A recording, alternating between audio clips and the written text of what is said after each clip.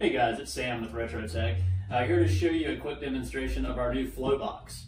So this tool is kind of like the Swiss Army knife of airflow measurement tools.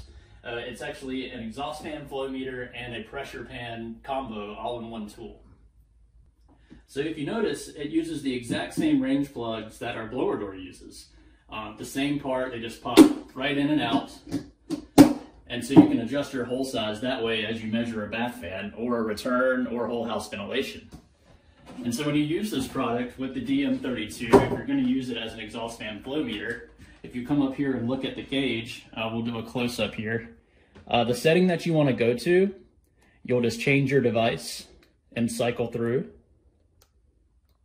until you get to the hole flow function.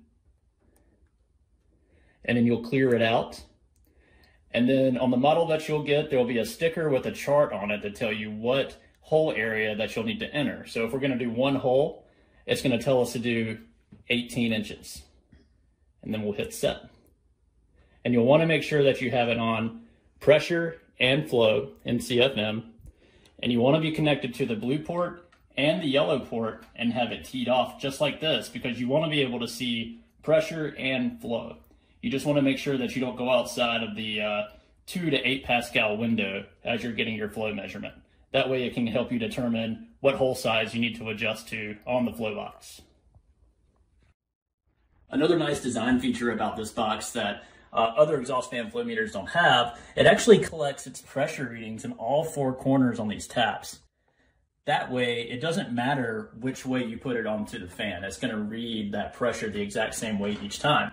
So we'll go ahead and measure this bath fan in this bathroom here. We'll go ahead and turn it on.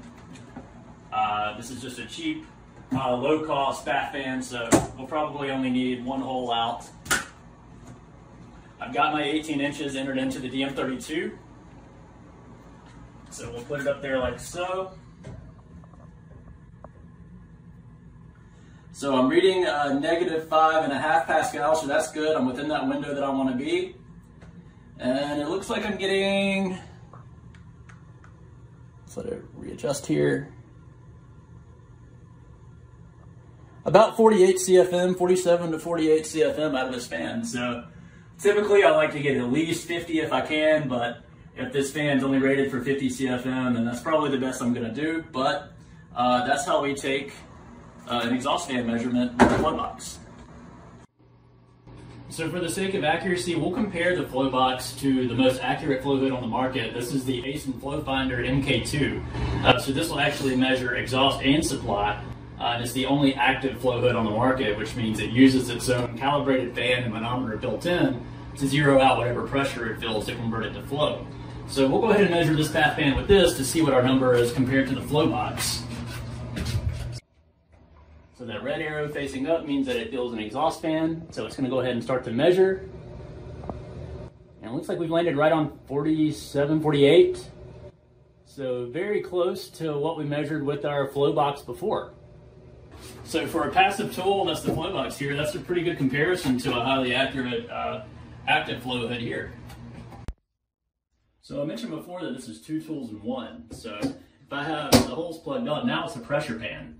So if I have my blower door running to depressurize the house at 50 pascals, I can look at vents like this and try to locate duct leakage uh, to see if that vent's going to be leakier than others.